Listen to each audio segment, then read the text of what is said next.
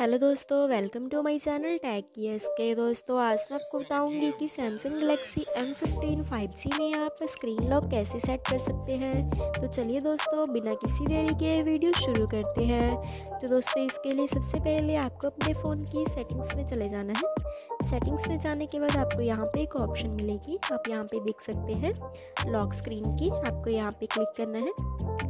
उसके बाद दोस्तों, आपको यहाँ पे पहले वाली जो ऑप्शन है स्क्रीन लॉक टाइप आपको यहाँ पे क्लिक करना है। और यहाँ पे आप देख सकते हैं, आप पिन भी सेट कर सकते हैं पासवर्ड भी और पैटर्न भी। आप इन तीनों में से कुछ भी सेट कर सकते हैं। चलिए मैं यहाँ पे पिन सेट कर लेती हूँ पिन पे क्लिक करेंगे। पिन एंटर करेंगे। कंटिन्यू फिर से एंटर करेंगे।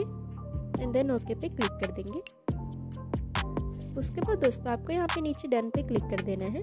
तो आपके फ़ोन में स्क्रीन लॉक सेट हो जाएगा। और दोस्तों, अगर आप स्क्रीन लॉक को रिमूव करना चाहते हैं या फिर चेंज करना चाहते हैं तो आपको फिर से यहाँ पे स्क्रीन लॉक टाइप पे क्लिक करना है।